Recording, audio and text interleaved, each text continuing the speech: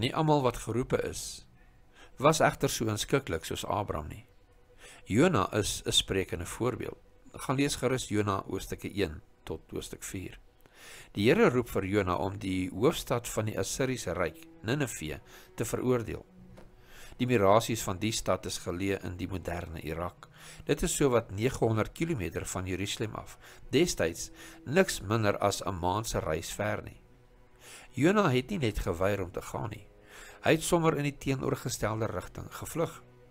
Met sy aankoms in Joppe koop hy vir hom 'n plek op 'n skip na Tarsus wat in die suidweste van die hedendaagse Spanje geleë is. Afhangende van die weer sou die 3200 km lange bootreis 'n volle maand geneem het.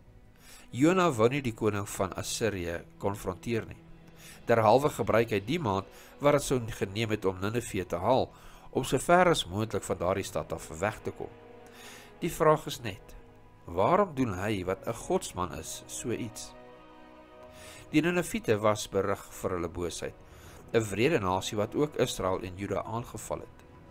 Nietemin stuur die Here vir Jona na Ninive om die koning en sy land oor hulle ongekende boosheid te konfronteer. Jona 1 vers 2. Die bewoording is baie dieselfde as die wat God met verwysing na Sodom en Gomorra in Genesis 18 vers 20 en 21 gebruik het.